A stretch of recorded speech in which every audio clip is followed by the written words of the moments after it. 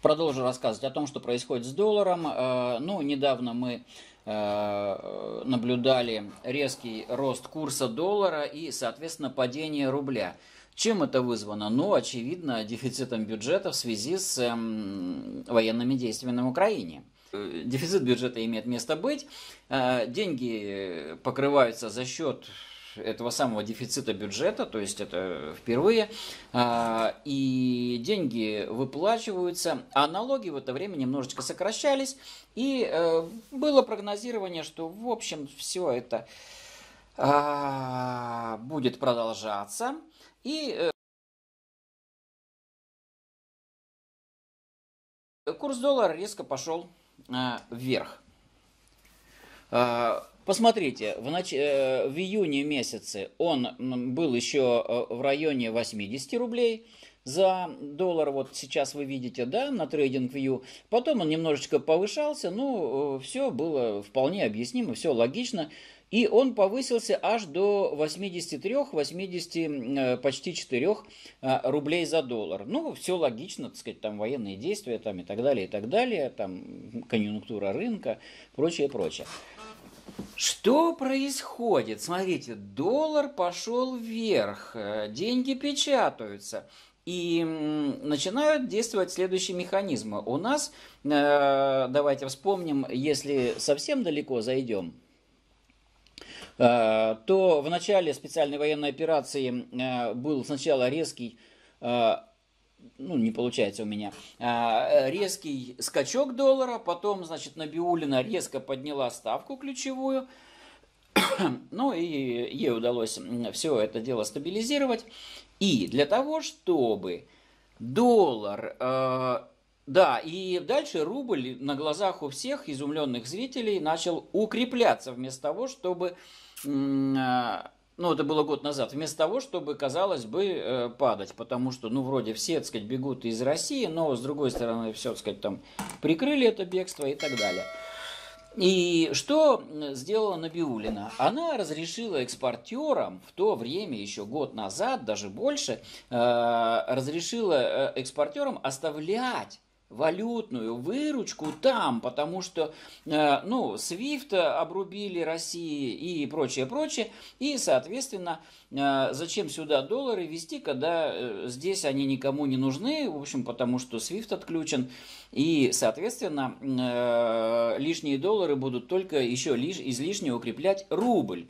То есть тогда была проблема справиться с укреплением рубля, потому что укрепление рубля это, ну, грозило обвалом экономики, потому что и бюджет, значит, там трещал по швам и так далее, пенсии надо выплачивать, а выплачивать укрепленным рублем, в общем, так сказать, ну, не очень хотелось. И поэтому, поэтому э, было разрешено, опять же, экспортерам э, оставлять выручку за рубежом.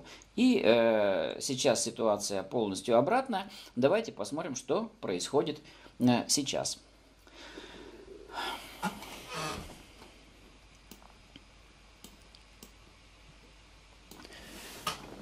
Итак, здравствуйте, друзья, здесь Дебитков Юрий. Э, давайте взглянем на график, э, который происходит прямо сейчас. Ну, смотрите, э, что произошло вот год назад. Это сразу экспортные потоки обрубились, то есть поток долларов в страну, ну, в смысле, импортный, так сказать, поток импорта нам обрубили, России. То есть нам девать доллары некуда, а доллары еще идут, ну то есть старые контракты э, Россия продолжает выполнять, Европа плачет, но продолжает выполнять старые контракты, то есть к нам э, текли деньги э, рекой, продолжали. И весь 2022 год там буквально, значит, все получали сверхприбыли.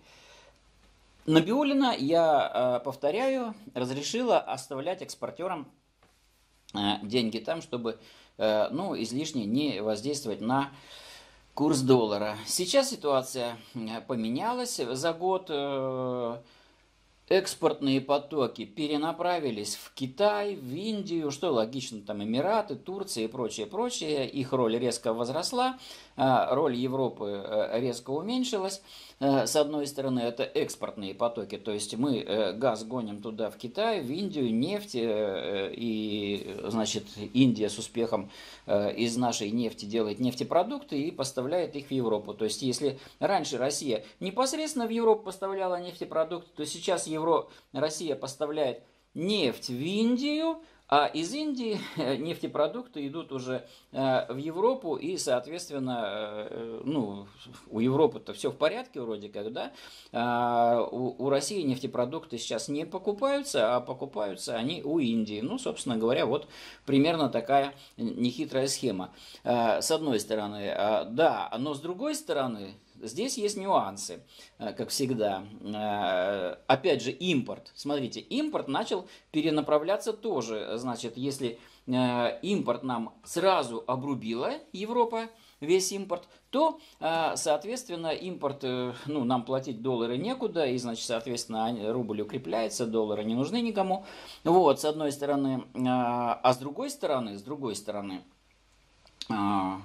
Россия начинает, ну, как бы налаживать связи, какие-то там параллельный импорт делать, значит, какие-то э, фирмочки организовываться и так далее, через всякие, опять же, Эмираты, через э, не знаю что, э, начали э, э, российские компании ну, покупать что-то и проводить платежи. Как-то хитро, хитрым способом.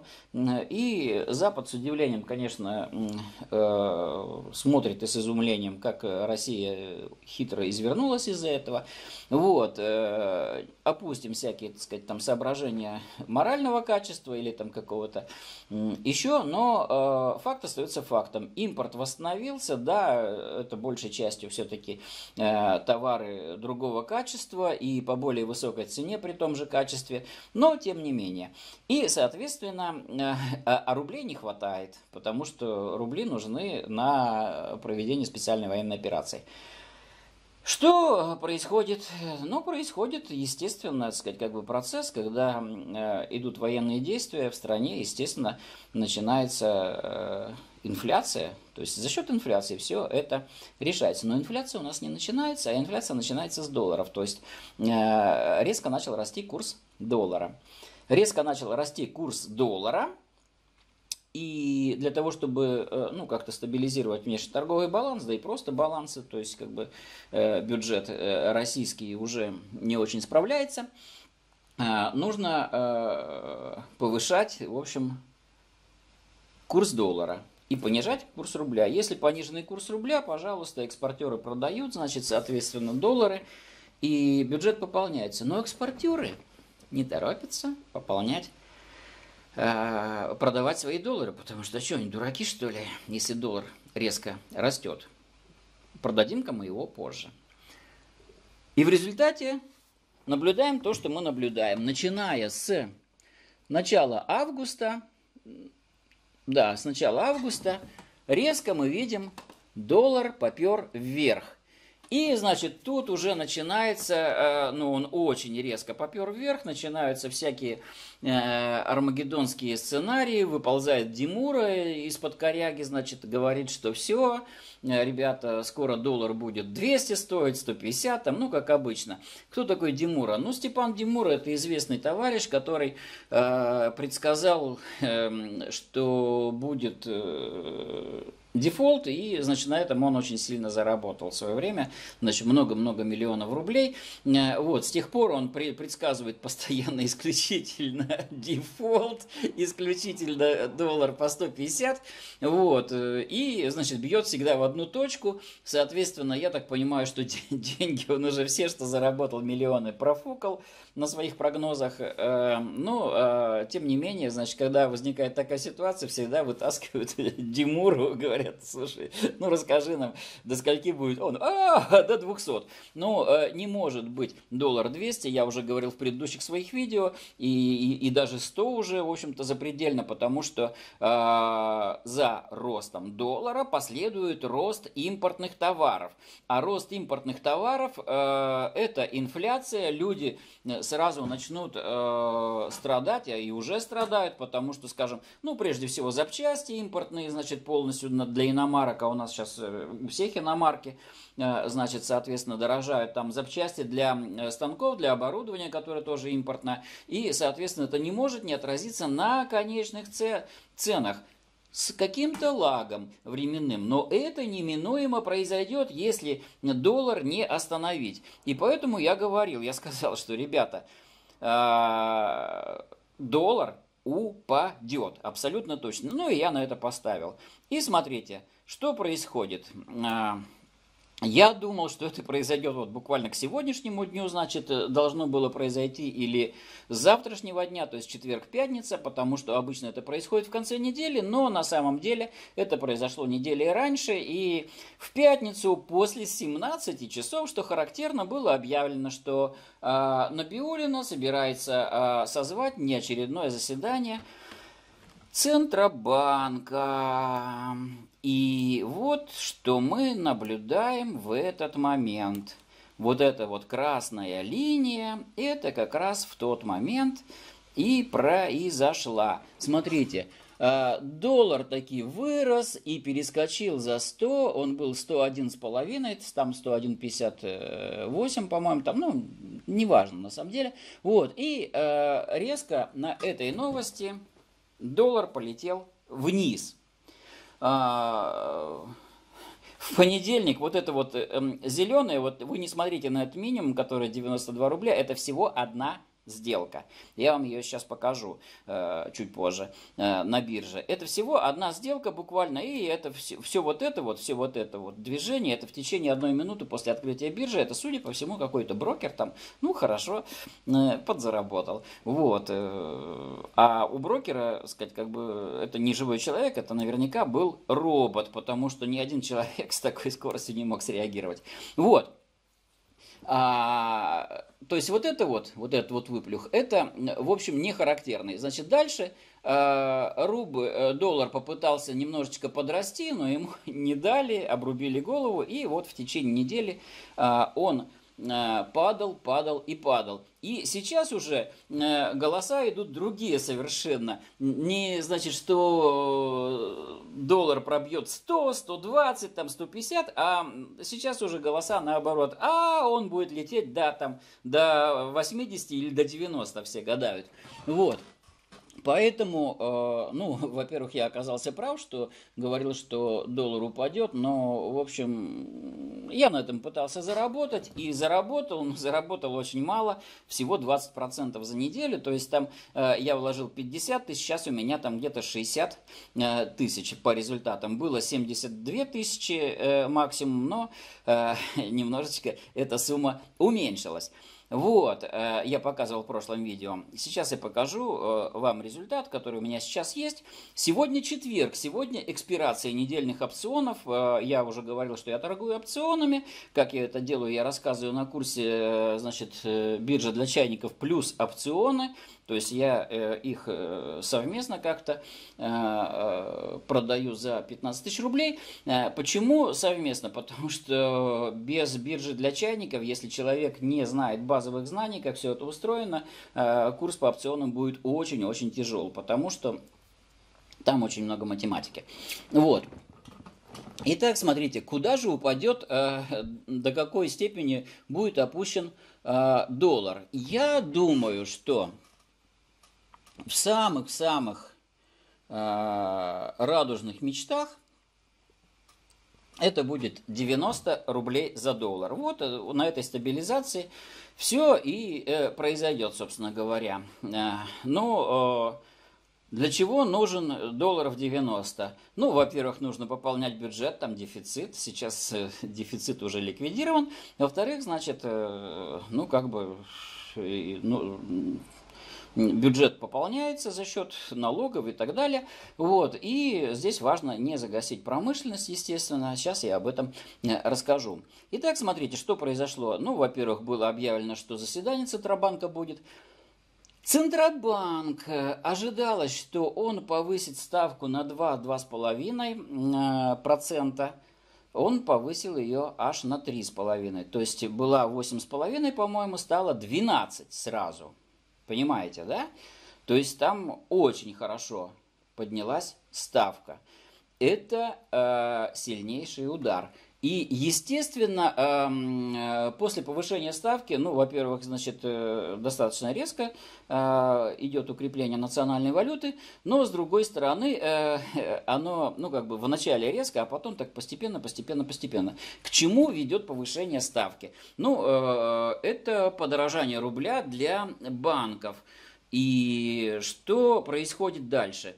А банки начинают с каким-то, э, через какое-то время начинают повышать ставки по кредитам.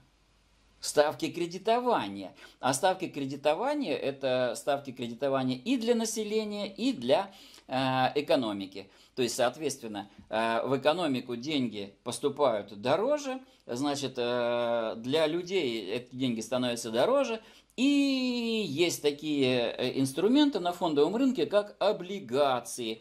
Это инструмент с фиксированным купонным доходом, а если, скажем, доходность выросла до 12%, а по облигации доход, ну, скажем, 4, 5, 6%, как обычно, это купонный доход, то, значит, соответственно, для того, чтобы э, в облигации был э, смысл вкладываться, она должна приносить доходность, ну, скажем, там, Э, те же самые 12-13%. То есть, за счет чего это делается? За счет того, что цена на облигации падает. И это тоже логичный процесс, и, а что такое облигации? Облигации это тоже э, долги, э, которые выпускают предприятия. То есть, минуя банк, э, раз, различные компании или государство берет в долг. То есть, э, как бы и государство, и самые крупные компании начинают э, как бы э, тоже отсекаться от денежных средств. То есть, они начинают брать деньги, то есть могут взять деньги под больший процент. Это невыгодно, и это ведет к торможению экономики. Вот э, такая история. Поэтому э, с повышением ставки перебарщивать нельзя. Надо ее повышать аккуратно, но здесь просто экстренное было заседание. До 12% Набиулина э, подняла ставку. Почему это она сделала? Ну, потому что Центробанк всегда говорил, что для нее главная цель для Набиулина это таргетирование инфляции. А, то есть э, удержать инфляцию, удержать рост цен. И она с этим успешно справляется, собственно говоря, все. Вот. Но э, после того, посмотрите, как ставка была а, поднята, ну, как бы доллар не дрогнул, рубль не дрогнул, и рубль как бы начал движение, так сказать, продолжать как-то. А, что делать дальше Центробанку? А все очень просто. У Центробанка повышение ставки это не единственный способ. У Центробанка есть другие еще а, варианты давления на субъекты, значит, на банки и на экспортеров. И вот э, вчера, буквально вчера, состоялось э, заседание закрытое с, э, ну, с различными компаниями и с лицами, которые э, влияют как раз на курс доллара.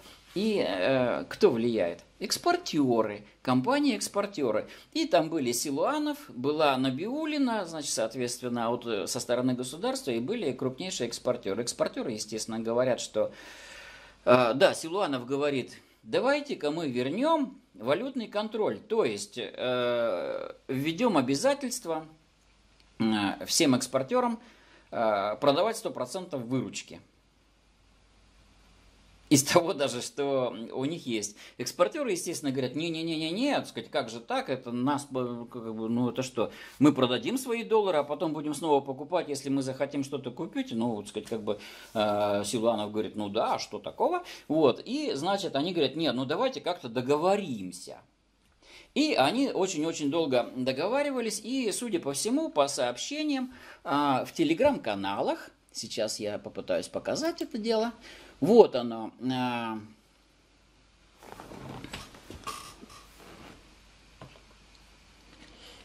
а, ну, как бы они договорились. Сейчас я не буду это вот, показывать. Здесь э, первое сообщение в банк, значит, у меня зафиксировано, что в России в 2022 году выросло число долларовых миллионеров. То есть кому э, война, грубо говоря, кому мать родна, э, долларовые миллионеры выросли. За счет чего? За счет того, что всякие вот эти вот левые схемы, э, импортозамещения и так далее, и так далее, э, ну, э, люди делают деньги. Кто-то э, волнуется, кто-то орет, значит, кто-то в панике, а кто-то делает деньги. Число долларовых миллионеров выросло. А, впервые со времени кризиса 2008 а, года. Вот так. А, благосостояние мировое уменьшилось. То есть богатые стали богатче, бедные стали беднее. Как обычно все. Вот. И вот здесь вот график представлен. Сейчас я его попытаюсь. Да, вот он. Ключевая ставка ЦБ и курс доллара к рублю. Смотрите.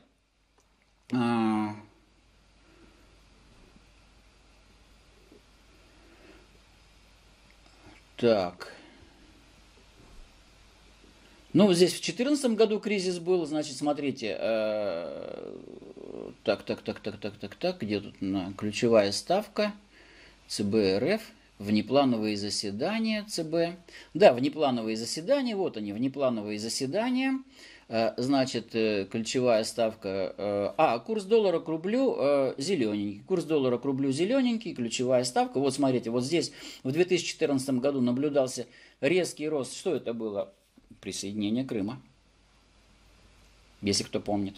Вот, а в 2014 году курс доллара резко пошел вверх, значит, ставку подняли до 17%, соответственно, и курс доллара резко стабилизировался. Вот он, Э, резко стабилизировался. Он был до этого, значит, сколько там, 36, по-моему, рублей за доллар, стал, э, сколько там, 46, ну, как бы, или 43, там, я не помню, уже стабилизировался. И э, дальше э, что делает Центробанк? Постепенно опускает ставочку, постепенно опускает ставочку. И дальше, когда стабилизировался на том уровне, значит, в районе 60 рублей за доллар, соответственно, говорят, ну ладно, все нормально, вот она ставочка долго не менялась. Дальше ставочка опять продолжает эм, снижаться. Почему? Потому что надо стимулировать экономику там, и так далее, и так далее. А, и дальше все, смотрите, дальше полный стабилизация, все хорошо, значит, там, где вы были 7 лет, вот они, значит, где мы были 7 лет.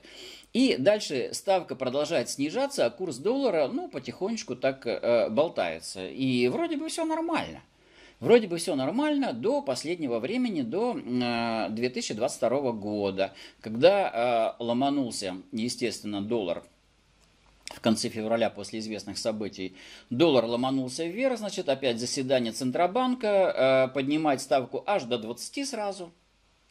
Тут же курс доллара начинает снижаться и потихонечку снижается ставка 17, 12, 11 там 10, 9, и, значит, э, вот ставочка уже там до 7%, э, по-моему, опускалась. Дальше она стала 8, 8,5, и э, вот сейчас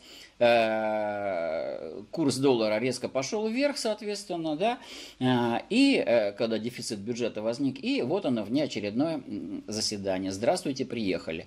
Ну и, соответственно, где-то вот мы ожидаем, ну я ожидаю где-то на районе вот такой вот 90. То есть, ну, каждый раз он немножечко повыше стабилизируется. Вот таким образом. Теперь это поставки. Смотрите. А к управлению курсом рубля ЦБ подходит гораздо более комплексно, чем казалось поначалу. Ведется не публичная и во многом неформальная работа с крупнейшими экспортерами – продавайте валютную выручку поактивнее и держите нас в курсе, в курсе объемов продаж и заграничных валютных закромов. Ждем, что все это будет сделано добровольно. Ну, а если вы не хотите добровольно, ну, у нас есть рычаги воздействия на вас. Вот, и, короче говоря, э, таким образом э, обсудили и договорились. Вот такая история. То есть у Центробанка есть первый механизм, это ставочка, второе, значит, работа с экспортерами, значит, для того, чтобы стабилизировать баланс и, э, соответственно, есть еще, значит, там ставка, не, не то что ставка рефинансирования, а то, что делает Китай, значит, уровень резервирования э, для банков там и так далее, и так далее, что, в общем, сказать, каждая из этих э, вещей болезненно действует. Ну, давайте посмотрим теперь на э, биржу, что там происходит. А там происходит вот следующее. Сейчас я график немножечко изменю масштаб. А там происходит, ну, вот ровно то самое. А, значит, когда я сказал, я примерно вот здесь вот сказал, что все, я ожидаю, что курс э, э, доллара будет снижаться. Я построил опционную стратегию, о которой я рассказывал в свое время, значит, два видео назад. Вот. И я эту опционную стратегию построил и с ужасом смотрю, что доллар продолжает расти. Думаю, блин, неужели я ошибся? И вдруг он начнет падать в четверг. Но этого не случилось, он начал падать сразу, там через день, все, сказать, я точно угадал. У меня в тот день было, а, 7, ну, как бы вот, вот в этот момент там 72 тысячи. Дальше вот здесь вот я немножечко потерял, и, соответственно, а, сейчас... Сейчас у меня, вот посмотрите, вот такая ситуация на счете. А, напоминаю, что на счет я внес 50 тысяч рублей. Сейчас у меня вот они 57 161 плюс 1393 а, а, рубля, то есть 58 где-то, ну, сейчас меньше, чем 59, ну, только что было 60 недавно.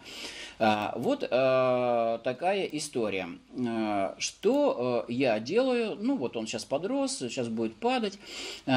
Посмотрите, что у меня сейчас эм, за ситуация. Сейчас достаточно агрессивная ситуация, минус 2,90 дельта, вот она минус 2,90, то есть у меня продано э, почти 3000 долларов сейчас э, за счет фондового рынка. И э, вот посмотрите, э, что у меня э, с дельтой. Это вот это вот самое 2,90, вот минус 2,90. Смотрите, если курс будет снижаться, то есть идти вот в эту сторону, у нас по э, оси абсцисс это э, курс рубля к доллару, курс или доллара к рублю, вот, то есть, если он будет снижаться дальше, то есть до 90, вот эта линия, это 90. Так, сейчас я отключу обновление. Вот эта линия, это 90 рублей за доллар. Вот она. То есть, если будет э, э, снижаться, то у меня идет э, в соответствии с моей опционной стратегией с ускорением, с ускорением, ну как бы э, продажа доллар, э, продажа фьючерсов. Продажа фьючерсов. То есть э, я не просто продал фьючерсы, а э, я продал сейчас чуть-чуть, но они будут ускоряться. Вплоть до 32 фьючерсов проданных на момент, ну, если они уйдут в бесконечность. Вот. Ну, давайте посмотрим, каким образом это построено. Э, сейчас вот уже вернемся сюда. Э, сейчас у нас сегодня четверг, это день экспирации по предыдущей неделе. Там у меня э, есть еще позиции какие-то, которые будут закрыты сегодня, ну, там, ну, после 19 точно они закроются, уже экспирируются. Я могу показать эти позиции, но там ничего интересного. Там у меня продано, смотрите, вернее, куплены путы 2 плюс 5 плюс 1. Э, всего 8 путов куплено и э, минус 5 минус 3, 8 э, путов продано. То есть здесь я, ну, как бы продал, продал доллар по 99 500, продал долларов по 98 рублей, продал доллары по 97 рублей. Ну, как продал, это как бы Отложенные продажи, я за это заплатил, за эти путы. И, значит, вот здесь я их выкупаю, эти э, доллары. То есть по этим позициям у меня скоро будет обнуление и зафиксируются э, соответствующие позиции. Сейчас здесь уже не имеет смысла их продавать или менять, потому что по ним временная стоимость 0. э, буквально по всем, кроме вот этой минус 3, 11 рублей, но это ни о чем. Вот, соответственно, э, соответственно, э, я их оставляю э, неизменными, и э, то же самое по, э, видите, вот они мои позиции по э, опционам call, то есть, соответственно, было куплено сколько-то опционов call и продано два опциона call. Сейчас курс, э, вот он страйк, э, то есть э, примерно здесь находится доллар, то есть вот эти у меня позиции просто обнулятся. А, соответственно, и больше ничего не произойдет, никаких фьючерсов у меня не появится. Те, кто прошел курс по опционам, они понимают, о чем идет речь. И я уже сейчас начал строить э, уже э, следующую э, стратегию, на следующую неделю уже. Следующая неделя это 24.08, 24 февраля, будет экспирация по следующей неделе, и на следующей неделе у меня, соответственно, э, ну, э, грубо говоря, вот такая позиция. У меня э, куплен один фьючерс, ну там просто цена была хорошая, кто-то, э, сказать, э, продавал его по дешевке, я его купил. Вот сейчас, например, да, только что вы видите, красненьким скакнуло. А, это спрос. Ну да, вот. Э, а здесь было предложение, соответствующее красненькое загорелось у меня вот здесь. Я настроил просто так таблицу э, доску опционов, что я сразу вижу, где выгодные цены. Э, как это делать, я рассказывал на курсе по опционам. Вот. Эм, и, соответственно, у меня один, один опцион put куплен, 10 опционов put продано, на текущем страйке с максимальной э, временной стоимостью 1133 и куплено еще 40 опционов put вот здесь. Для чего я это сделал? Для того, что если э, э, сейчас вот, ну сейчас 91-92 сражается, как только он пойдет еще ниже, значит есть здесь вероятность того, что он пойдет вниже, то есть если он до 90 рублей опустится, то, собственно и говоря, я вот эти все продам, а, а вот эти все выкуплю. Ну, э, как бы э, где-то так. Сейчас я на центральном страйке их буду продавать. Вот, если он опустится сюда, вот эти я продам, здесь куплю соответствующее количество, ну и э, построю, э, как обычно, у меня шляпа или перевернутый кондор. Опять же, те, кто э, понимает, те понимают. Сейчас вот эти вот, смотрите, вот сейчас э, эти э, опционы, put, стоит 400, э, вот теоретическая цена, 473 э, рубля за один опцион. 473. А страйк э, на страйке, вот он, страйк 92 сейчас в, районе, в этом районе. А, на страйке а, они стоят примерно 1194. То есть примерно э, в три раза дороже. То есть если сегодня курс резко ломанет сюда, то вот эти опционы подорожают в три раза. Не на 3%, не на 3 рубля, а в 3 раза. То есть они будут стоить примерно 1200 рублей. Понимаете, да? Вот, ради этого я и торгую опционами. И поэтому а, они, значит, идут с ускорением. Вот а, такая история. Ну и, соответственно, сейчас я покупаю опционный кол, потому что будет отскок. Ну, как бы по дешевке покупаю опционный кол. Потом, когда они э, начнут расти, э, они начнут расти. Поэтому у меня вот общая картина вот такая моей пока опционной стратегии. Вот такая ямочка. Что это значит? Это значит, что если курс будет болтаться вот здесь, то у меня будут убытки. Если курс э, резко упадет, либо резко вырастет по каким-то причинам, то я в прибыли. Но потом я буду продавать на текущем страйке, как только вот он идет, идет, идет сюда, я здесь покупаю опционный кол, и э, здесь как, как только курс начинает сюда поворачиваться, я продаю опционы put. И, соответственно, у меня вот эта э, картинка переворачивается, и она будет вот такой вот примерно. Вот, то есть, если курс будет болтаться здесь, то у меня прибыль будет, ну, в районе там ну, скажем, 30 тысяч рублей, но потом, значит, соответственно, э, если они улетают дальше, то у меня там дикие убытки. Ну, вот такие э, они опционы. Что я думаю, что будет Центробанк делать? Ну, как я уже сказал, что Центробанк мне кажется, что где-то в районе 90 он постарается устаканить до 90 рублей за доллар. Ну, может быть, 89, но вряд ли ниже. Ну, и то 89 будет по инерции. И вот когда до 90 рублей подойдет, значит, он начнет понижать уже ключевую ставку. То есть все стабилизировалось, успокойтесь, ребята. И, значит, дальше уже на курс э, доллара будут влиять такие факторы, как переговоры, значит, там, соответственно, значит, там смена правительства в России или в Украине, значит, там, ну, в ту или иную сторону э, как-то все будет. Вот, и э, рубль сильно укрепится только э, когда санкции снимут, вряд ли это произойдет в ближайшие не знаю, дай бог мне дожить до этого времени уже, когда SWIFT подключит. Не знаю или санкции все снимут. Ну, посмотрим, что будет. Вот.